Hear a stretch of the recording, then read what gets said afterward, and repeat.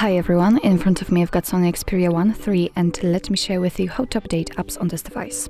So first of all make sure that you've got the internet connection because it is obviously required to download something and I highly recommend to use the Wi-Fi for this operation and then we can enter the Play Store.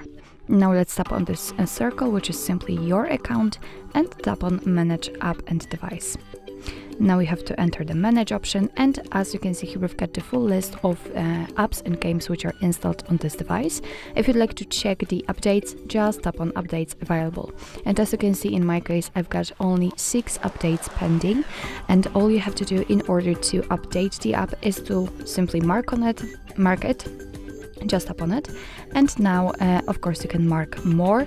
And then let's tap on this update update icon. And as you can see the google one in my case was pending. Um, it was uh, downloaded and successfully installed and automatically updated. So as you can see you actually do, you do not have to do anything more so actually this is it. This is how to update apps in your sony xperia 1 3 thank you so much for watching. I hope that this video was helpful and if it was please hit the subscribe button and leave a thumbs up.